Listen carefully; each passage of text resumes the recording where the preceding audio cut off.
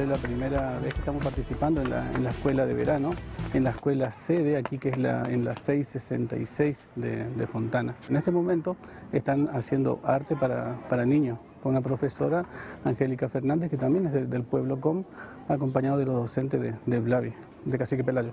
Tenemos charlas también para adultos, para niños, sobre lo que es la nutrición, que también tiene que ver con nuestra cultura, desde la mirada COM, desde los pueblos originarios. Educación vial también van a tener este, los estudiantes, tienen eh, fútbol, volei, handball, y para mí es muy significativo porque podemos compartir justamente no solamente con, los niños, sino también con la gente adulta también, que, son estudiantes nuestros también para poder enriquecernos. Soy el profe que está a cargo de, los juegos de mesa, en específico eh, ajedrez.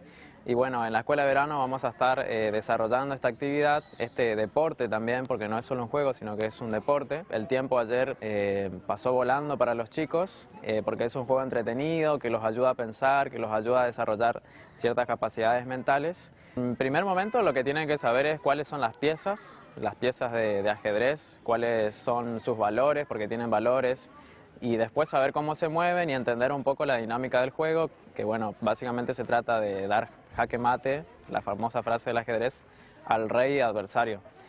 Estamos trabajando todo lo que es arte, eh, arte para niños y para adultos. Trabajamos todo lo que expresión de ello, de la, ahora estamos empezando con la naturaleza, lo representamos como la, misma comunidad nosotros eh, eh, principal, el, la Pachamama, el árbol, y bueno, empezamos a trabajar con eso y después vamos eh, haciendo lo que ellos nos piden de eso, los superhéroes que están queriendo hacer también, más lo que ellos quieren eh, es dibujar. El tema que vamos a desarrollar tiene que ver más bien con lo que es nutrición, alimentación, el modo en que esto se debería dar en relación a la actividad física. Yo creo que con mucho éxito se está llevando a cabo esto, que ya que han participado bastante alumnos. Es fundamental, es importante no perder, digamos, el ilván que tienen eh, los alumnos o las personas grandes, porque a veces cuando uno termina las clases piensa que todo se termina y es eh, quedamos libres de, aprender, sin embargo acá en esta ocasión yo creo que se va a llevar a cabo esto,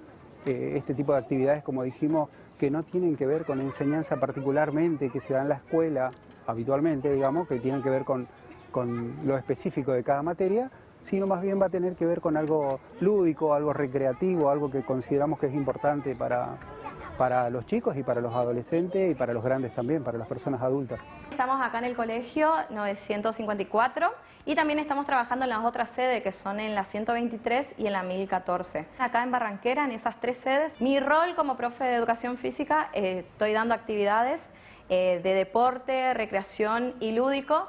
También damos lo que sea un poco de baile. Y bueno, y vamos recorriendo todos los colegios dando las actividades con los distintos profes. Los alumnos están pasando súper bien. Los viernes vamos a dar actividades en la pileta, en el, en el Club Don Oriones. Estamos dando manualidades, estamos dando talleres de danza, eh, huerta estamos dando cocina también. Y bueno, para todos los que quieran seguir estando en, esto, en este taller, pueden acercarse, mandarnos mensajes. Nuestro número es 3624 62 41 97. Nos pueden escribir, nosotros le vamos a estar mandando los cronogramas de cada colegio para que puedan disfrutar. Somos el primer canal de noticias desde el interior del país. Transmite desde el histórico chalet Rapaccioli, Resistencia, Chaco, Norte Grande Federal. Somos periodismo con historia.